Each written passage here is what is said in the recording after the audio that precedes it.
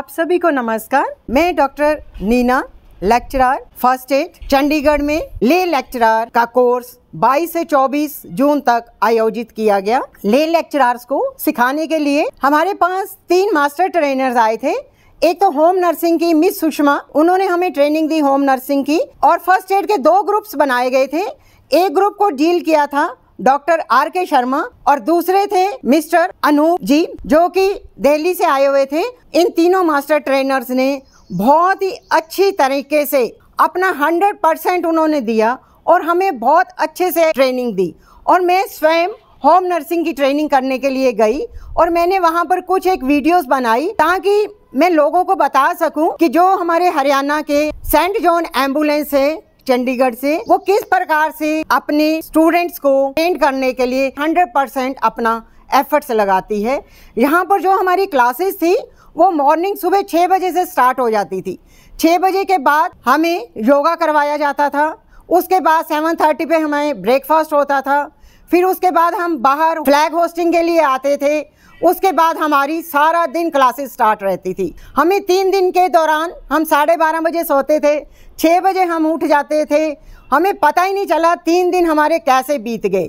और हर समय जो भी कार्य होता था, संजीव धीमान सर की निगरानी में होता था, हर समय उनका जो हमारे साथ इंटरेक्शन था, वो इतना बढ़िया था, बहुत ही अच्छा था। सेंट जॉन एंबुलेंस के द्वारा आयोजित ले lecturer course Baba Balaknath temple Dharamshala में आयोजित किया गया। ये उसका मेन गेट है। कितने भव्य रूप से सजाया गया है। इसमें झंडियाँ रेड क्रॉस की और सेंट जॉन की लगाई गई हैं।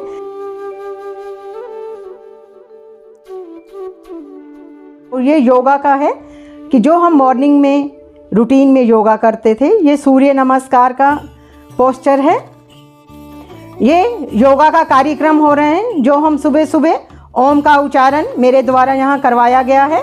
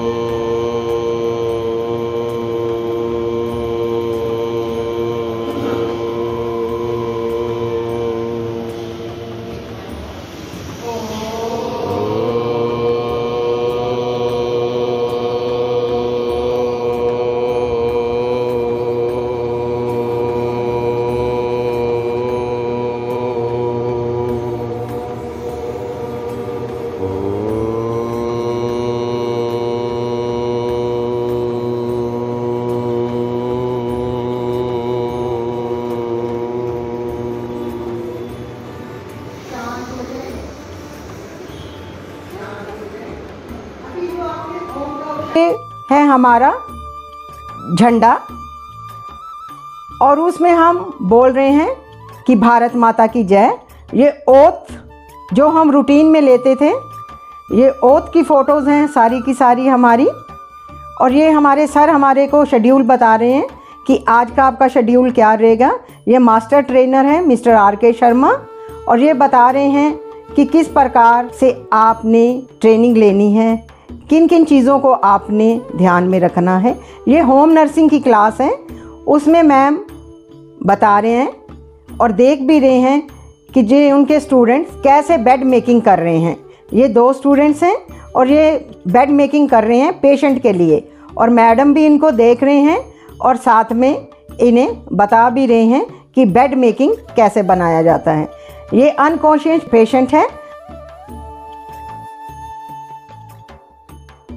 और ये देखिए इसके गर्दन के पास में। और अब ये कॉन्शियस है। अब मैम बता रहे हैं किस प्रकार से हाथ में रखना है नैपकिन और कैसे आपने करनी है। और अब हम इसको लेटाया है। अब इसके पीठ के ऊपर हमने कर रहे हैं। अब हमने इसको पीछे की तरफ़ शिफ्ट कर रहे हैं। अब हम पेशेंट को पीछे की ओर शिफ्ट कर रहे हैं। और ये फ़र्स्ट एड का आ गया है। ये एक व्यक्ति लेटा हुआ है। इसके ऊपर डेंजर आ गया है। अब सर बता रहे हैं कि डेंजर को हमने किस प्रकार से घायल व्यक्ति से दूर करना है।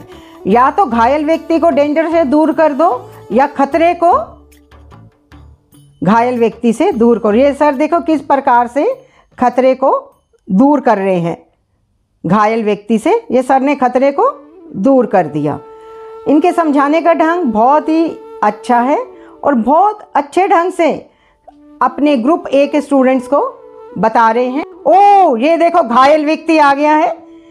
किस प्रकार से इसकी हड्डियाँ टूट गई हैं और जो पेशेंट है और जो उसके साथी हैं, वो किस प्रकार से सप्लिंट्स के द्वारा इनको लगा रहे हैं। ये हमारी बहनें हैं जो एक घायल व्यक्ति की मदद कर रही हैं, जिसकी बहुत ज़्यादा ब्लीडिंग हो रही है। उनकी लेग में ब्लीडिंग हो रही है। सभी बहनें बड़ी तत्परता से, बड़े ध्यानपूर्वक उनकी ब्लीडिंग को साफ़ कर रही हैं और ये बहन देख रही है कि इनकी साँसें हैं या नहीं हैं। इस प्रकार से उनको चेक किया जा रहा है। अब देखिए, अब इनको शिफ्टिंग किया जाएगा ब्लैंकेट के ऊपर। किस प्रकार हमारी बहन ब्लैंकेट बिछा रहे हैं? जा रहा है स्ट्रेचर के ऊपर। सीढ़ियों से ऊपर घायल व्यक्ति को लेके जा रहे हैं। अब इसको एंबुलेंस में लोड करना है।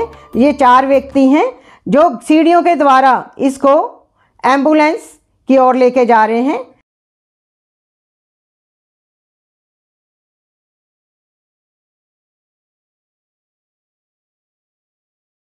ये बगुला चाल चल के आ रहे हैं, ये देखिए।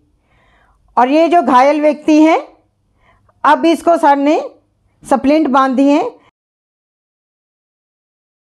ये बता रहे हैं कि आपको क्या क्या करना चाहिए। और इस बहन के तो बाजू में ही फ्रैक्चर हो गया है। इन्होंने पट्टियाँ बांधी हैं, स्पोर्ट दी है। ये देखिए, अब एक और पट्टी बांधी जा रही है इस घायल व्यक्ति को। इसकी जो जो बाजू की हड्डी है टूट गई एक और ये घायल व्यक्ति है। ये कुछ कुछ बोल तो रहा है और एक व्यक्ति इसकी स्पोर्ट में इसके पास में है। वो उसको हौसला दे रहे हैं। भाई, कुछ नहीं हुआ, तुम ठीक हो? और इधर ये देखिए, कितनी बढ़िया इसको पट्टी बांधी जा रही है। ये हमारी टीम के तीन सदस्य हैं।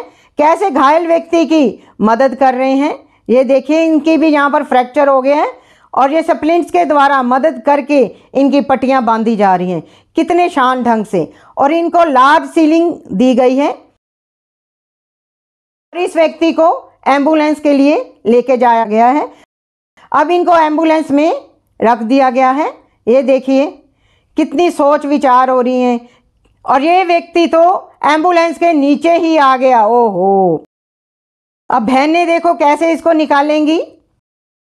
बहुत अच्छे ढंग से इनको एंबुलेंस से नीचे निकाल लिया गया है। एंबुलेंस से ये व्यक्ति बाहर आ गया है। इसको ब्लैंकेट के ऊपर रखा है। आई थिंक इसको होश नहीं है। इसको शायद ज़्यादा चोटें आई हुई हैं। और वो देख रहे हैं कि इसको चोट कहाँ कहाँ लगी हुई है? शायद इसका तो ब्लड ही निकल गया, ओहो। अब इसको ब्लैंकेट के ऊपर रख लिया है। अब इसको थोड़ा शिफ्ट कर रहे हैं। अब देखेंगे कि इस व्यक्ति को क्या हुआ है। जो भी इनको उपचार जल्दी में ध्यान में आएगा, वो इसका उपचार करेंगे। इसको थोड़ा सा हिला के देख रहे हैं। अब ये देखो, अब ये मैम देख रहे हैं कि इसका रिस्पॉन्स है या नहीं है। और अब इन मैम के साथ अब और भी साथी आ गए मैम के। ये तो एंबुलेंस चला रहा था। ये तो ड्राइवर है, ये तो घायल हो गया, ओहो। कितने अच्छे लोग हैं। ये डॉक्टर के आने से पहले ही इन साहब की मदद कर रहे हैं। ग्रेट वेरी ग्रेट ये। और ये घायल को तो बिल्कुल भी होश ही नहीं है वो हो घायल व्यक्ति को ज़मीन पे सीधा लटाया गया है और उसको देख रहे हैं, ओहो। कैसा ये सीन है। और बेचारे के सिर पे भी पट्टियाँ बाँध दी हैं। अभी भी इसको होश नहीं है। हमारे साथी लगे हुए हैं उसको ठीक करने के लिए, हॉस्पिटल ले जाने के लिए। ओहो, कैसा ख़तरनाक सीन है। ये देखिए, अब उसको देख रहे हैं, उसका रिस्पॉन्स काम कर रहा है कि नहीं? परंतु उसका तो रिस्पॉन्स ही नहीं काम कर रहा। ये देखिए, कैसे चारों व्यक्ति कितने अच्छे ढंग से घायल की मदद कर रहे हैं। बिना कोई टाइम वेस्ट किए। अब ये ब्लैंकेट लेंगे, अब जल्दी से इसको ब्लैंकेट के ऊपर शिफ्ट किया जाएगा। कितनी जल्दी कोई भी एक मिनट का भी टाइम वेस्ट नहीं करना चाह रहा। अब देखो ध्यान से कैसे ब्लैंकेट को फोल्ड किया जा रहा है। और एक व्यक्ति ने तो उसको पकड़ा हुआ है, घायल व्यक्ति को। और तीन व्यक्ति ब्लैंकेट को फोल्ड कर रहे हैं। अब ये जो ब्लैंकेट है, ये घायल व्यक्ति के पास में लेके जाएँगे और घायल को साइड करवट लटाएँगे। देखा आपने? अब ये देखो, इसके नीचे पूरा ब्लैंकेट बिछा दिया गया अब घायल व्यक्ति को सीधा किया जा रहा है। अब इसको एंबुलेंस में शिफ्ट कर दिया गया है। कैसा सीन है? कितना अफसोस लगता है। ये देखिए, अब दूसरा घायल व्यक्ति तैयार हो चुका है एंबुलेंस में शिफ्ट होने के लिए। ये होम नर्सिंग की मैम बता रहे हैं कि हेयर केयर कैसे किया जाता है कैसे कैसे इसके स्टेप्स हैं। ये व्यक्ति लेटी हुई है। तो मैम बता रही है, कैसे इसके हेयर वॉश करने हैं, कैसे कैसे स्टेप लेने हैं। देख रहे हो आप, मैम कैसे कैसे स्टेप्स बता रहे हैं। कितने अच्छे ढंग से प्रैक्टिकल रूप में हम सभी को समझा रहे हैं कि आपने कौन कौन से स्टेप्स के द्वारा इसके हेयर वॉश को करना है। ये सर बता रहे हैं कि सीपीआर कैसे दिया जाता है। जैसा कि अभी आपने मेरी वीडियो देखी, ऐसी मेरे को आशा है आप सभी को मेरी वीडियो पसंद आई होंगी। आप सबका वीडियो देखने का दिल से धन्यवाद धन्यवाद धन्यवाद।